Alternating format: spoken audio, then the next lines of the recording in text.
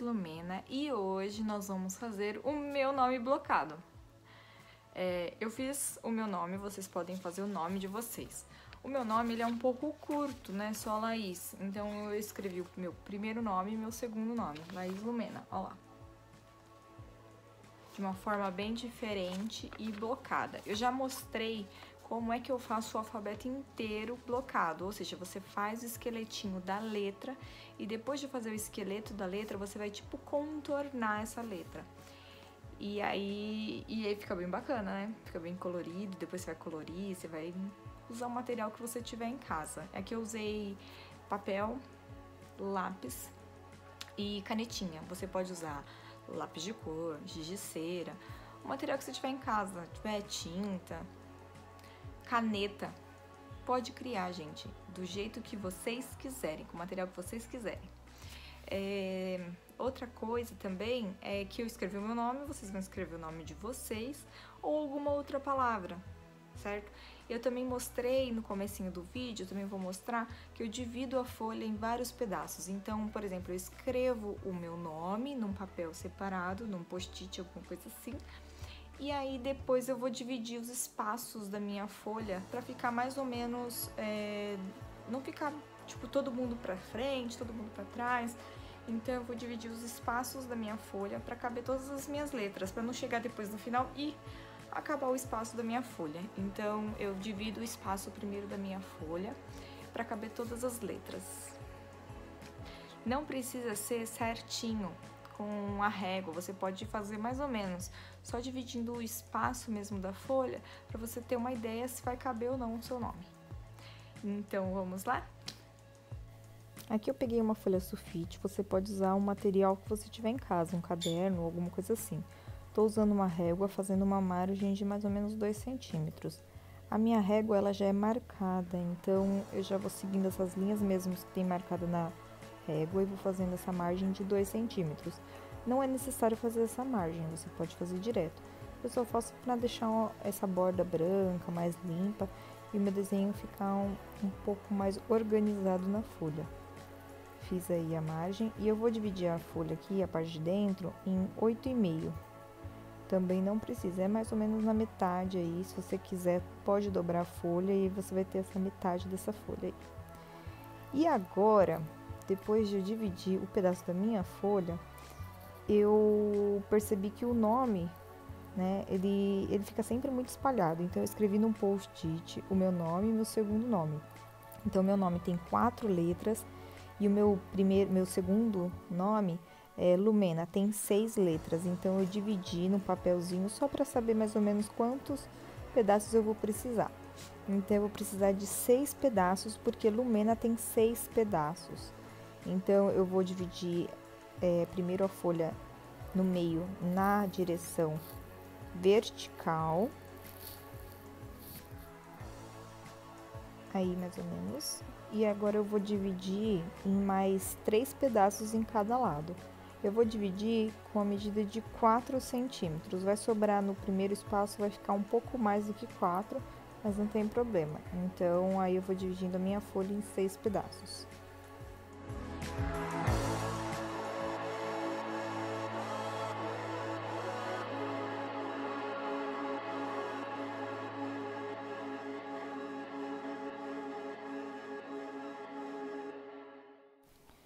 começar escrevendo no quadrante de baixo, escrevendo Lumena, que são seis pedaços que eu tenho, então eu vou escrevendo Lumena.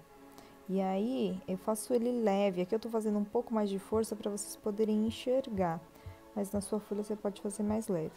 E o Laís, eu vou deixar o primeiro espaço vazio e o último espaço vazio, porque assim ele fica centralizado, o Laís também na minha folha.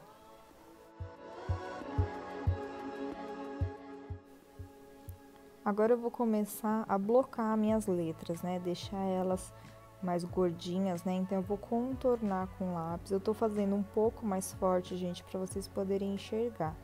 Pode fazer bem com a mão bem mais leve, tá? Então eu vou contornando cada uma das letras. Tá vendo que eu não tô seguindo bem certinho, nem com a régua nem nada. Ela fica bem interessante até quando fica meio tortinha. Só não pode ficar muito torto, né? Uma tor tortinho só tá bom. E aí você vai passando todas as letras. Bom, aqui eu tô passando uma canetinha preta, você pode usar o material que você tiver em casa, uma caneta, lápis de cor, sem problema nenhum. Aí eu vou passar só na letra em volta, né, nesse contorno da letra. Não vou passar canetinha ou lápis, o que for, na letra de dentro, né, naquele esqueletinho que a gente fez da letra. Vou passando, não tem problema se ficar um pouco torto, não precisa ser medido com régua nem nada. Vai fazendo com muita calma também, porque se você usar canetinha, se você borrar, depois não tem como apagar.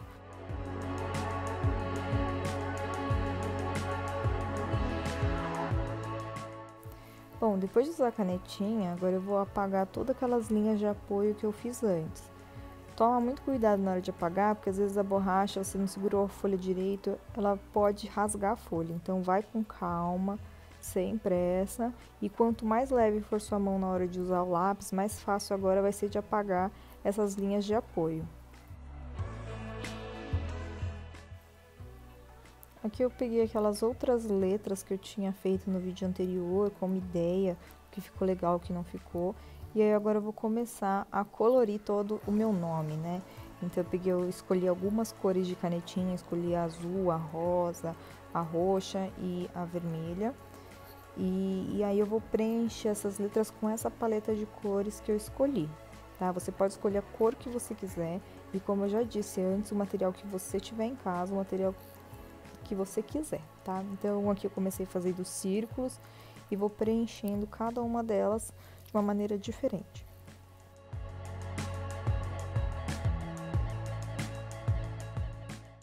Bom, aqui é mais fácil vocês observarem o que eu fiz do que eu, eu explicar. É, mas usem a criatividade de vocês, usem o material que vocês tiverem Pode usar formas geométricas, pode usar o círculo, pode fazer listrado, como vocês acharem melhor.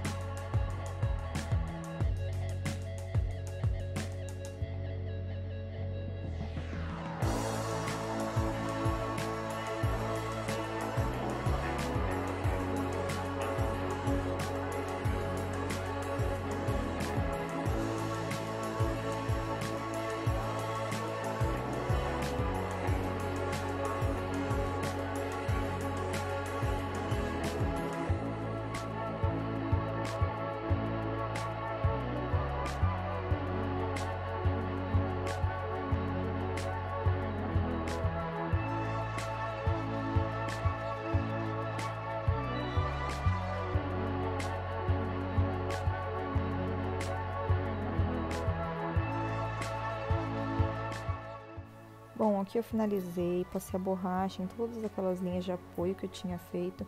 Ainda fiz um contorno aí com a cor roxa.